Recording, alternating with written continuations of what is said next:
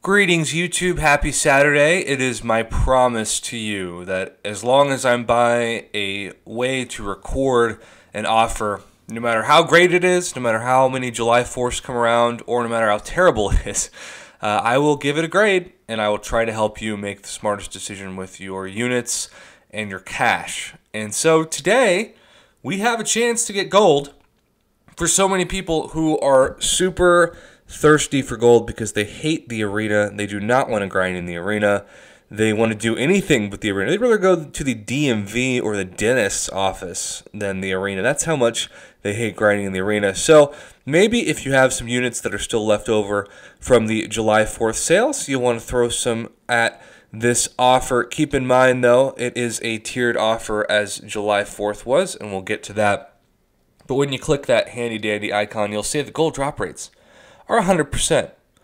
This crystal offers a minimum of 15,000 gold. So, this is going to give you a minimum of 300,000 gold for 500 units, and that would be enough when we remember what units normally cost for essentially about 20 bucks worth of units for 300,000 gold.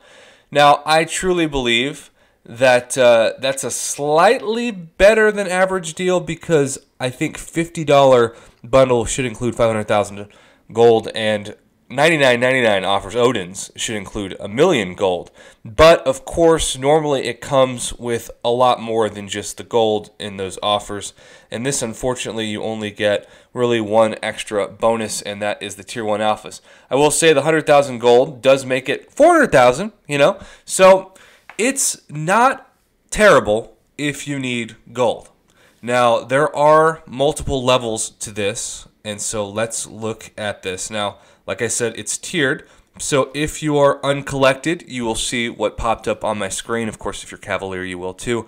And if you're not uncollected, you will see something else 40 times the uncollected golden crystals. But uh, that's the second tier, excuse me. You'll see the greater golden crystals, and there'll be 30 of those. I don't know how much gold is in those because it doesn't look like it says. But uh, basically, if you're not uncollected and you need gold, this is probably like a D plus C minus value at best. You'd be much better just grinding a few three star arena fights. But I uh, I do think the 40 times uncollected, which I guess would give you a minimum of 600 thousand gold, and then when you add that to two hundred thousand, that'd be eight hundred thousand, and then you get double the uh, tier one alphas, which is better than nothing, I guess. I, you know, for people who really, really need gold, like let's say you landed that amazing uh, five star champion, you, you, finally got Aegon and you were able to awaken him, or maybe you're finally able to get like an amazing six star. Maybe you got like a six star Corvus, and you just you don't have any gold, right?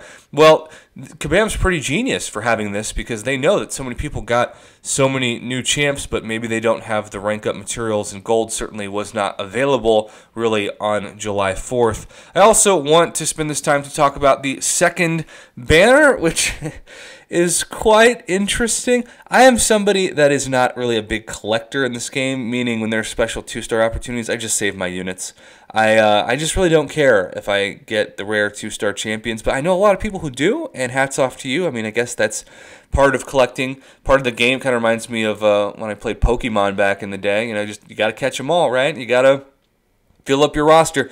So the, the funny thing, though, is now for 200 units, if you're Cavalier, you can have a chance for a six star. I once spent 400 units and got two six stars, Guillotine and Ghost, the best 400 units by far I've ever spent of my life. And so now, with these collector's crystals, they're 50 units apiece, which I think in this day and age, 50 units for a one star champion, that's just way too high. Like these things should be like 10 units. Uh, but it says these crystals have a chance to award a one or two star champion that cannot be obtained from a premium hero crystal or daily crystal. And so the drop rates of these are 75% two star, 25% one star. Now, my belief is this if you're going to charge 50 units, it should be 100% two star. But maybe you guys really want the rare one star heroes? Am I being crazy for thinking that that, that shouldn't exist? I mean, two star heroes, at least you can max them out and run them in the two star arena. And I also think two star heroes are highly undervalued in terms of that uh, infinite streak potential. I also think that we have seen in the past year two star gates where you can only use two star champions to enter certain content. I also know from experience that two stars can be a great way to maximize your points in the level up event and take a two star from like rank one to max rank and get most of those points for the free 25 units uh, milestone. But, uh, you know, in general, I'm just not thrilled about this. I think 50 units is just, I mean, that's a fourth. You buy four of those, right? The best you can do is four two star champions, even if they're new two star champions. And that's the same price if you're Cavalier as a 10% chance for a five star and, you know, a 1% chance at a six star. I just, I just find it kind of high. But, you know, some people might disagree. What else is new? Either way, uh, I would grade these for price wise at a D. And people are going to be like, Prof, you're being too critical. There's rare champions in there. Well, I'm just looking at the specific value for your units as I always try to. It's actually much better guaranteed value if you hate the arena particularly and you don't have gold reserves. You're not like me. You're not Scrooge McDuck and you don't have 90 million plus in gold just chilling. Uh, yeah, it's better if uh, if you wait and you just use your units in something better. But Kabam is getting real creative. We got the featured item store.